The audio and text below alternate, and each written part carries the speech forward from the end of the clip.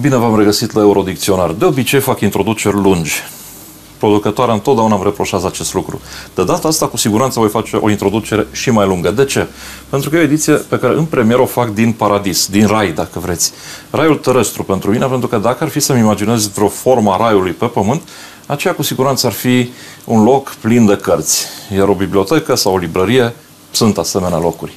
Iar uh, librăria în care mă aflu eu acum și care este probabil cea mai mare din Republica Moldova, este într-adevăr un fel de paradis. Și de ce e important să, să, să fim într-o librărie și de ce e important să citim? Pentru că, de exemplu, dacă punem aceste trei cărți una lângă alta și vă întreb între Hitler,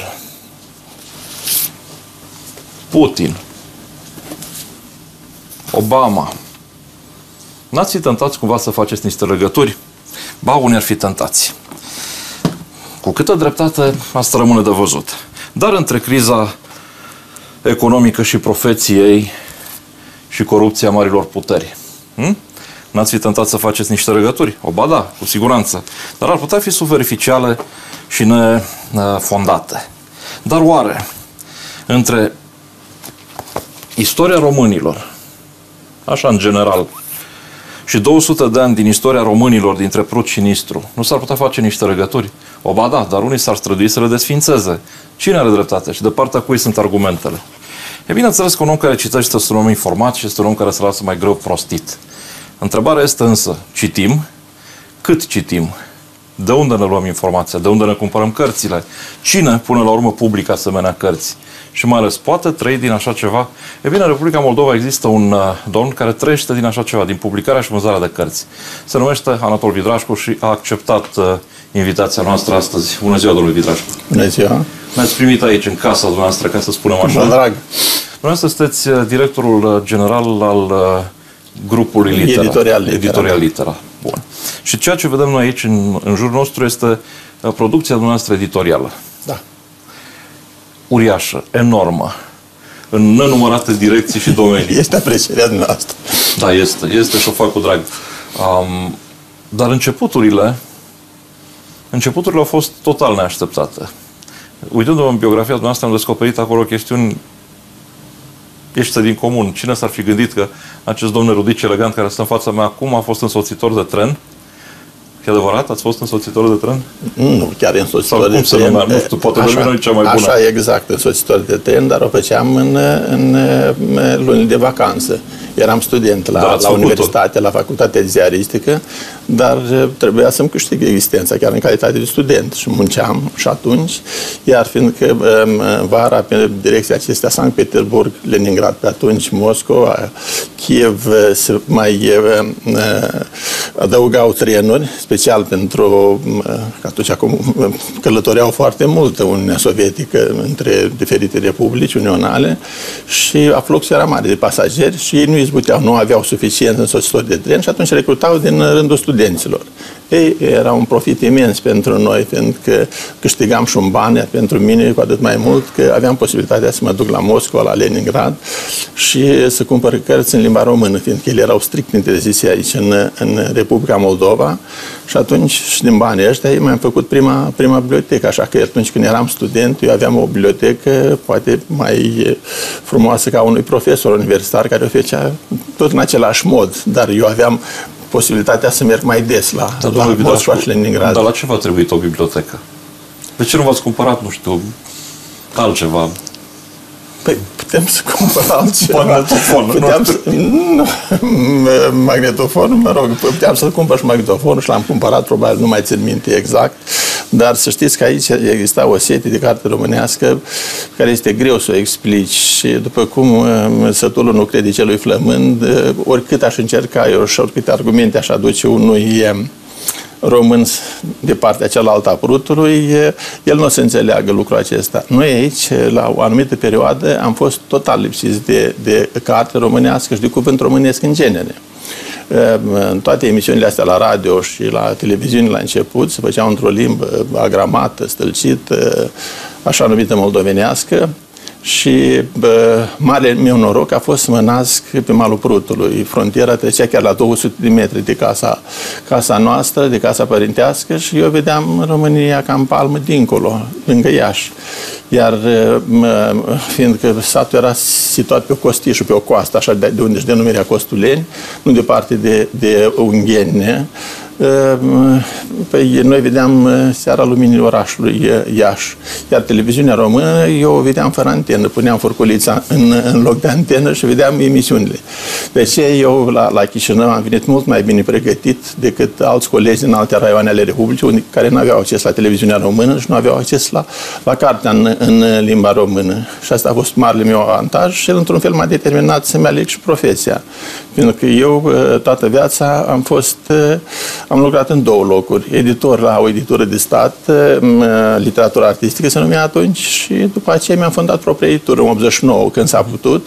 Și de atunci până astăzi sunt în această postură, așa că eu nu mi-am schimbat uh, profesia, am rămas fidel parcursul întregii vieți.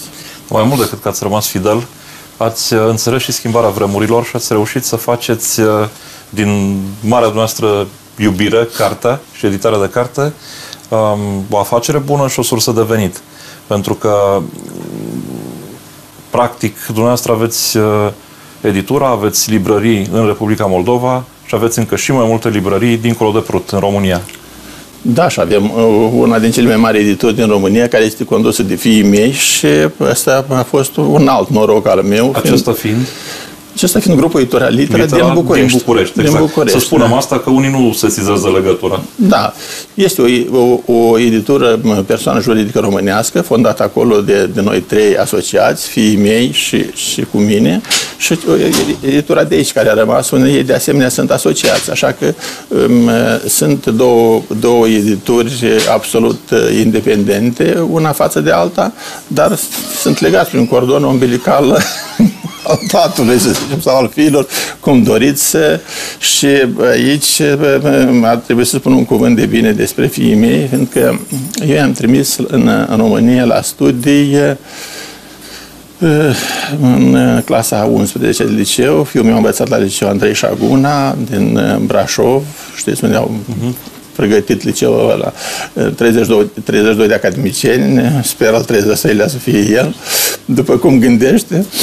Și după ce a absolvit, a venit la București și atunci când am plinit 18 ani, am fondat o, o editură, se numea la început Litera Internațional, dar pe m-am gândit că internațional între două, între două state românești nu prea ar fi internațională și am trecut-o la, la grupul editorial Litera și grup, fiindcă în, în, în cadrul acestei instituții sunt, sunt și edituri, dar sunt și librării și mai nou acum avem și o librărie online, cea mai mare din România.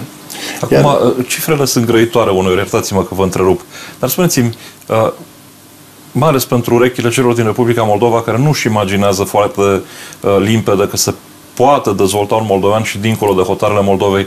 Câte uh, librării aveți în acest moment în România aproximativ?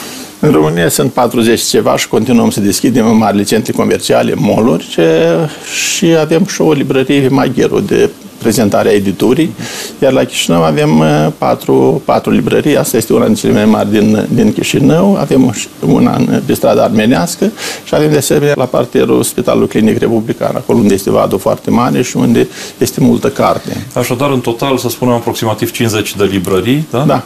Um, într-un spațiu divizat, mă rog, între două state în acest moment. Cu alte cuvinte, sunteți, uh, aveți așa o viziune globală a business-ului, nu vă sperie frontiera sau diferența de, de spațiu UE sau non-UE în acest moment? Absolut, noi nici nu, nu, nu simțim și dacă, dacă n-ar fi existat România, asta o spun pentru unii care nu-și dau seama de, de fenomenul acesta, dacă n-ar fi existat România, eu aici n-aș fi supraviețuit ca editor fiindcă din toată producția noastră de carte, nici 5% noi nu, nu vindem pe teritoriul Republicii Moldova. Restul se vinde în România și aici trebuie să, să adresăm un cuvânt de recunoștință cumpărătorilor noștri din România, cumpărând cărți acolo, ei susțin procesul editorial din uh, Republica Moldova. Și aici nu sunt chestii de jucat, fiindcă noi uh, uh, edităm foarte multe cărți care știm din stat că nu se ne aducă profit.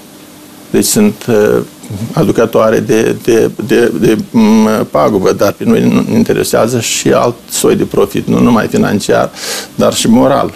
Pentru că noi ne pregătim viitorii cititori și cumpărători în felul acesta. Iată, acum am făcut o, o colecție nouă, scritori români ilustrați.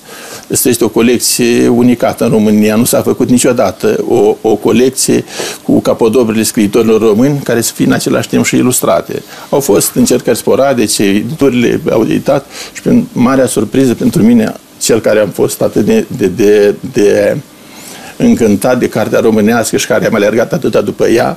Abia după aceea am văzut că conținutul este foarte bun, dar modul de realizare este total defectuos. Deschideai cartea și rămâneai cu filele în mână, tipar prost, pe hârtie de, de, de proastă calitate și a rămas stupefiat de faptul că în România socialistă, unde se puneau se făceau planuri gigantice și unde se vorbea despre tot. De ce nu s-a acordat atenție cărții? De ce nu s-a acordat atenție graficii cărții? Pentru că asta este vorba de la o carte. Când o iei în mână și o observi că este, este un obiect făcut frumos, cu dragoste, nu de mântuială. Înțeleg, în, în timp ce vorbiți, eu îmi să răsfoiesc, așa, înțeleg, că aceste, înțeleg că aceste cărți se vindeau, se vindeau bine și pe subtergia chiar și așa. Dar, dar de ce atunci, când mai existau graficieni, exista Corneliu Baba, exista uh, Ligia uh, uh, Magovei, de ce nu, nu, nu au apelat la, la serviciile acestor graficieni? De ce nu au făcut atunci? Pentru că nu, nu a existat. Și iată, acum noi încercăm, am făcut primele 16 cărți, pe păi cărțile astea nu ne aduc profit.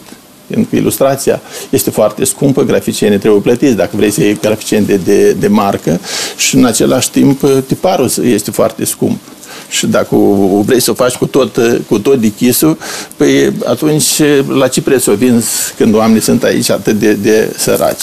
Și atât, dacă... Să cu ediția ilustrată amintirilor din copilărie da, lui Ion Creangă. Da, exact. Păi, e, asemenea cărți ar trebui să apară pentru, pentru copii, fiindcă atunci îi, îi stărnește și lui imaginația, fantezia, el vede, poate vede el într-un fel, dar este bine ca să, să-l îndrume cumva și graficianul.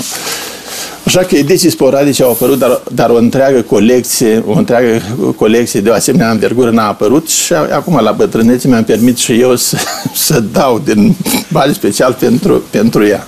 Acum... Și au fost enumerate cazuri de asta, când am mers conștient la, la cărți care nu puteau să aducă profit. Sigur că asta trezește uneori și mici disensiuni între asociații în grupul editorial litera, între fii, de, între fii de, de, și de, mine. De ce v-ați asumat disensiunile acestea? Simțiți că da. aveți și o datorie datorie, dincolo păi, de, da, de da, faptul că de, da. câștigați, trăiți din afacerea asta, aveți o datorie față de cine? Da.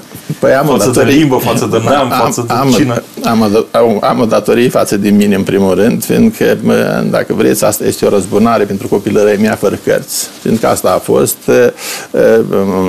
sunt născut în 49 și în perioada aceasta, când eu de acum învățam în clasa 1, pe lângă faptul că vorbea limba aceasta cită care vă spuneam, dar nu exista cărți deloc.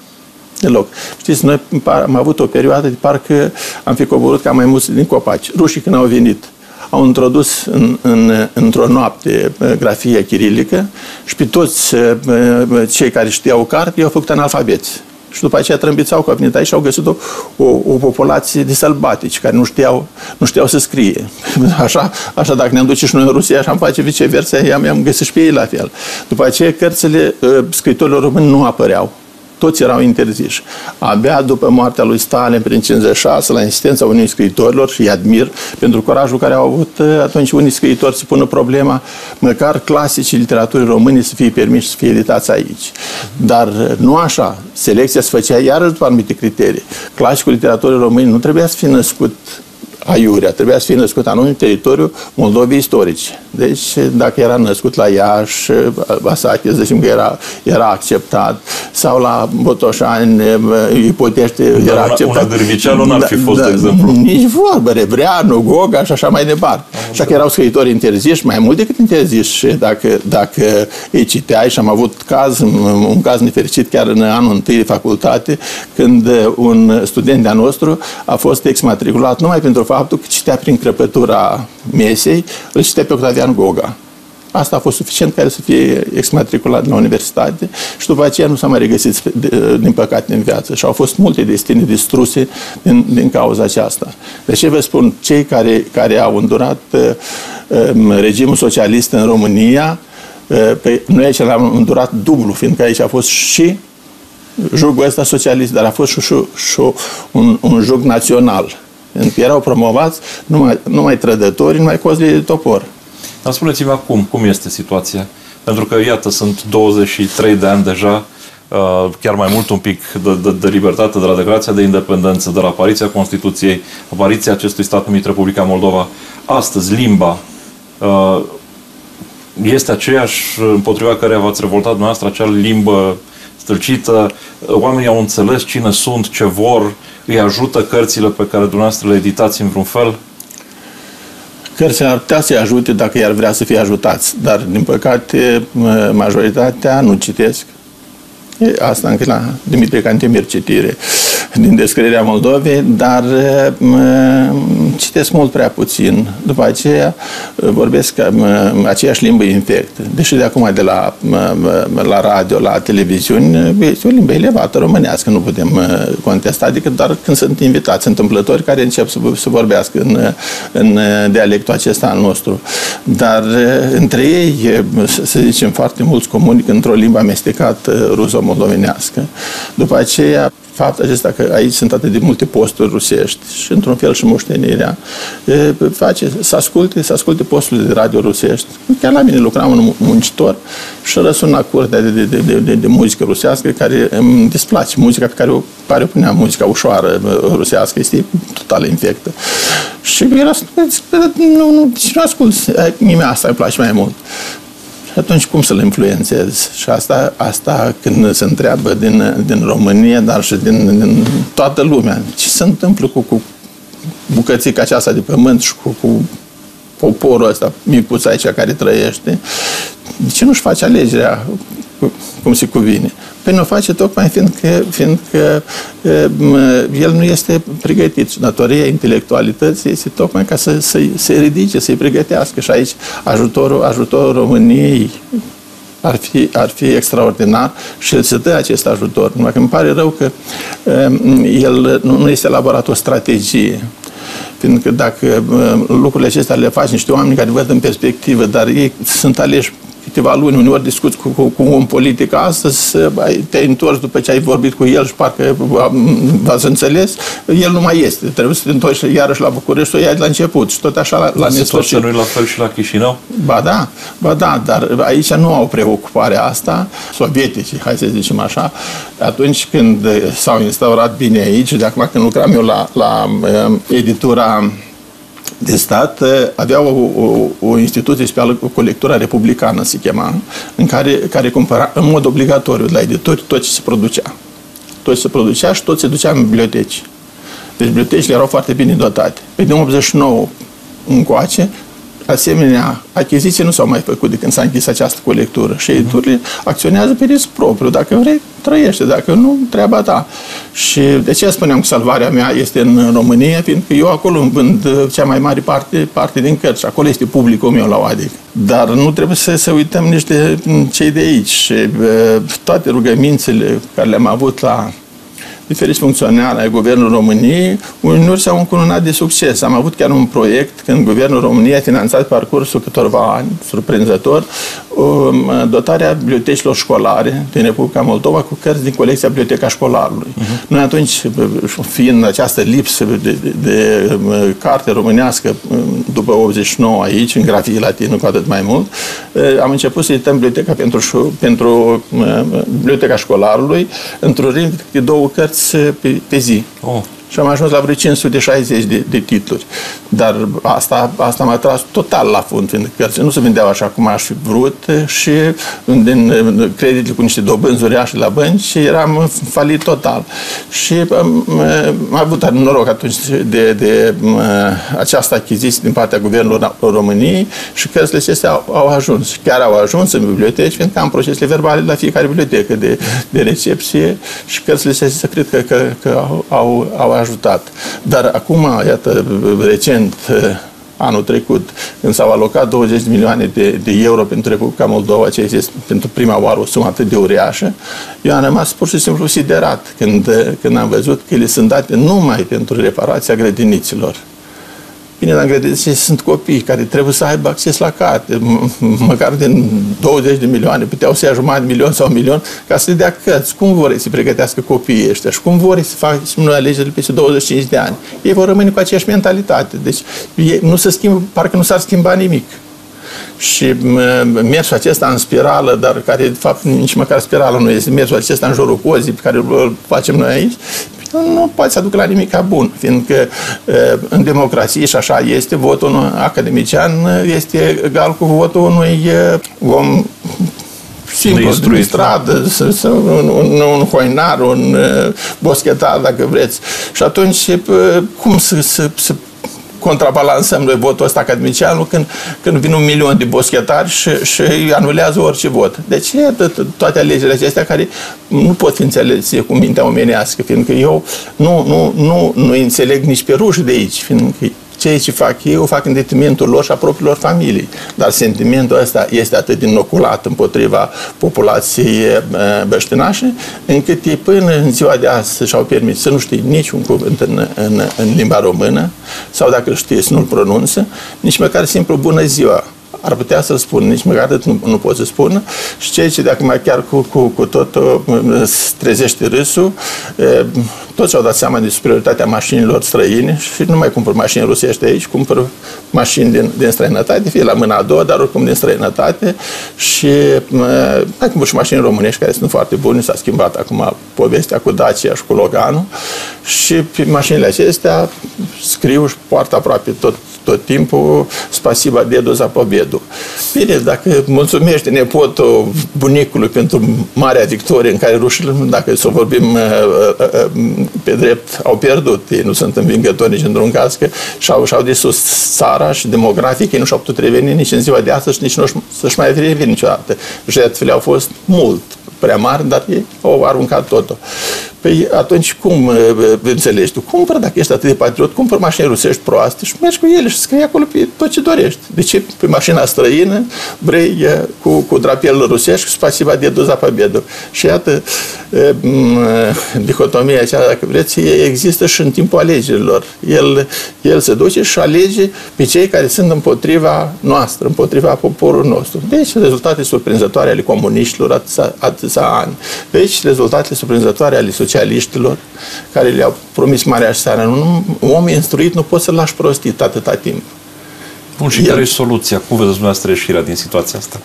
Există vreo soluție de reconciliere socială, de trezirea vreunei conștiințe care să depășească bariera sau dihotomie, această uh, ruptură etnică? Păi, se va întâmpla într-o bună zi ca etnicii de altă etnie decât cea moldovenească în Republica Moldova să gândească un bine comun împreună cu populația majoritară? Eu, de păcate, sunt foarte sceptic de acum, după câte am văzut și au trecut deja 25 de ani și am avut ce vedea.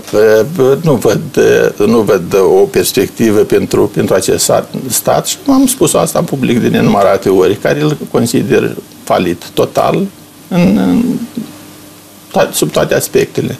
Și noi o să putem să ieșim numai după ce o să schimbe o generație în totalitate, iar o generație asta 30-40 de ani. Deci nu ne trebuie, dar noi nu trebuie să-i se pierdem pe copiii ăștia pe care îi creștem acum, fiindcă dacă nici lor nu o să le dăm și nu o să instruim și nu o să facem să înțeleagă că Europa în genere și România cu atât mai mult nu reprezintă un pericol, ci o binefacere pentru noi, până nu o să facem să înțeleagă acest lucru, noi nu o să schimbăm nimic și aici. cum pot fi făcut să înțeleagă asta?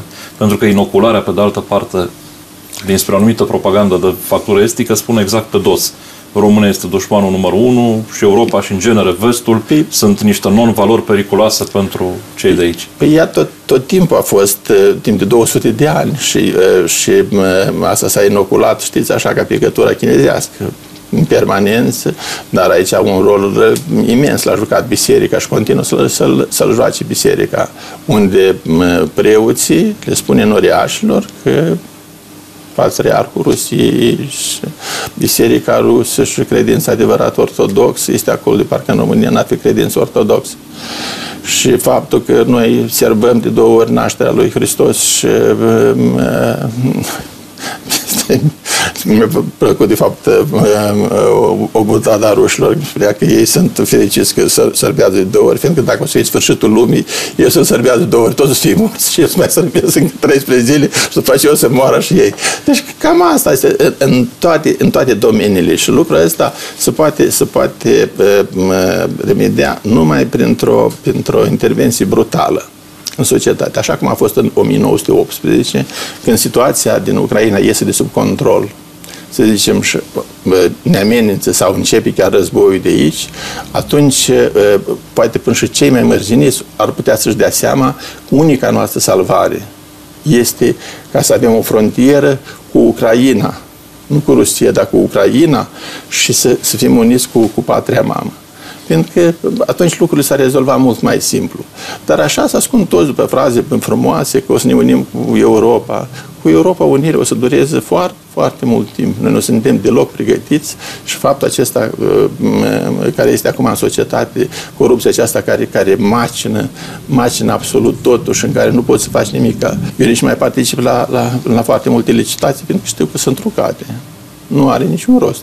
Noi în România câștigăm, uh, câștigăm licitații la manuale, aici nu le poți câștiga, fiindcă au o, mm, băți cu două capete. Dacă acolo trebuie să fie criteriul calitate, preț. Dacă ai un preț mare, te scoate din start că prețul e prea mare.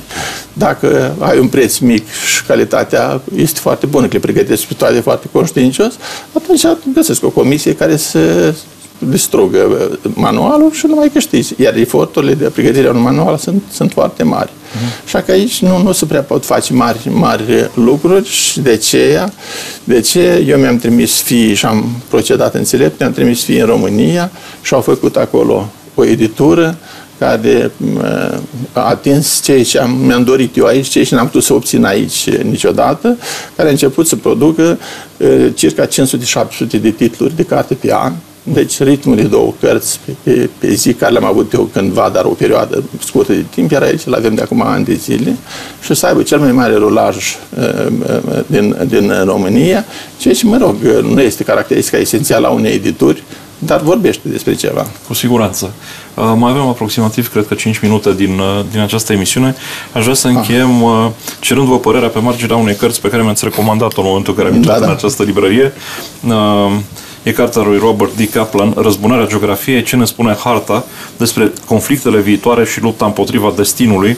Aceasta este coperta. Vrem să vă întreb de ce mi-ați recomandat-o, de ce vi se pare această carte emblematică și ce legătură are ea cu, cu Republica Moldova în acest moment? Ea explică, explică foarte multe fenomene la care noi nu putem să, să, le, să, să le găsim uh, înțelesul. Eh, și geografia, geografia și cartea nu întâmplător se numește răzbunarea geografiei, este, este uneori eh, factorul determinant în destinul unui, unui neam. Eh, știți că există teoria aceasta că în funcție de, de relief este și caracterul poporului. Zicem, la noi sunt dealuri și băi, muzica mai săltăreață, așa mai vioaie și noi suntem cam tot așa rușii cu stepele lor de, de, de zeci de kilometri, hăulesc acolo iese și doli popite Peterscă sau ce mai au ei acolo. Așa că asta este, dar mai, mai presus de asta sunt uh, ieșirile la mare care sunt extraordinar de importante. În carte se arată de ce China nu poate să devină o mare putere, fiindcă ea are o ieșire foarte foarte uh, îngustă la mare, acolo sunt munți, nu trebuie să ne înșelăm și uh, de ce ea nu poate să devină o putere maritimă. Iar cine a câștigat în fond în, în, în războaiele, cine a câștigat teritoriile, asta au avut țările cu acces, acces la mare, la ocean. Marea Britanie, Spania, Portugalia, Astea sunt cei, cei care au cucerit. Nemții mai puțin, fiindcă ei pe acolo locuiesc prin nord. Da, prin nord. Și nu știu dacă mi îngheață. Așa că lucrurile astea sunt, sunt foarte interesante, cel puțin. Este una din, din, din ipoteze, dar care, care mi-a plăcut și de ce am vă recomand, fiindcă eu n-am citit-o încă până la capăt, trebuie să recunosc că am și altele de făcut, dar așa o știu. Și în genere, dacă eu înainte izbuteam să citesc toate cărțile pe care le produc eu cel puțin, ca, oh. să, ca să nu fie greșeli de corectură, fiindcă mi-era rușine când le vedeam că redactorul a lăsat. Acum eu nu, nu, nu pot să urmăresc nici măcar planurile editoriale. Lucrează 10 redactori care sunt foarte bine pregătiți și fiecare are domeniul lui, țările lui, așa că de acum situația s-a schimbat și eu din, din, din cel care citea totul, acum am început să citesc selectiv din, din propriile cărți. Am înțeles. Suntem aproape de final, dar chiar aproape de final și nu întâmplător am lăsat pe măsuța aceasta dintre noi un uh, volum interesant, Patrimoniul Umanității, cele mai frumoase locuri din lume. Poate că ar trebui să uh, citiți și să răsfoiți și această carte, alături de multe altele pe care le puteți găsi aici. Într-adevăr, toate țările și toate domeniile sunt bine acoperite. Dar de ce e important? Ca să vedem ce anume riscăm să distrugem. Pentru că ni se pare... Așa, Procesul a început, din păcate. Ni se pare că lucrurile care se derulează în Ucraina nu prea au legătură cu noi, ni se pare că într-un fel sau altul ori pronia cerească, ori nu știu cine o să ne păzească, dar cred că e mai important să ne păzim noi înșine și cred că cel mai important este să începem prin a ne păzi mințile de toate influențele pe care unii și alții încearcă să le exercite asupra propriilor noastre creiere. Iar cea mai bună pază a minții este cu siguranță informarea. Și pentru asta eu mulțumesc domnului Vidrașcu și pentru dialog și pentru um, toată această extraordinară activitate editorială. Sper să ne mai întâlnim. Da, cu multă plăcere și sper și eu. Iar dumneavoastră faceți bine și vizitați uh, librările acestea, fie în Chișinău, fie în România, pe unde vă aflați și, în general, nu vă feriți de carte. Până data viitoare, numai bine!